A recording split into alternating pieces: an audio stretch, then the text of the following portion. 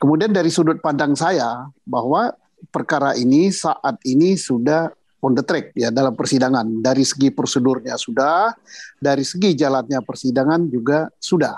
Dari surat dakwaan yang kita ikuti melalui media uh, audio visual itu sudah benar.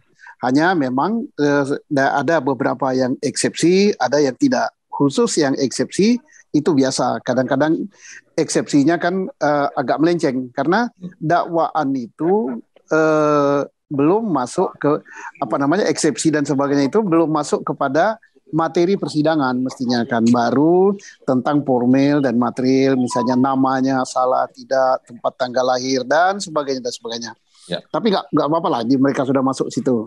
Nah saya yakin bahwa eksepsi itu pasti ditolak oleh hakim. Ya. Nah sekarang adakah upaya-upaya mereka untuk meringankan? Ada, nampak itu biasa ya, karena siapa pun di dalam menjadi terdakwa akan eh, apa namanya minta yang seringan-ringannya. Misalnya dalam eksepsi saja dia jawab semua tidak tepat gitu kan, tidak cermat, tidak ini, tidak ini sehingga minta dibatalkan. Itu namanya kan sudah upaya.